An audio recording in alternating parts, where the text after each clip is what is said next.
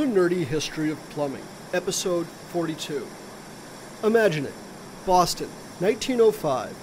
You're a shoemaker working in a factory when you hear odd sounds coming from the radiators. The Grover Shoe Factory explosion of 1905 rang across the world and focused engineers' attention on preventing such a disaster again.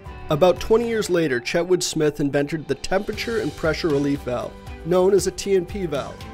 This small valve had the ability to open when exposed to heat or high pressure, thus preventing an accident like the Grover disaster.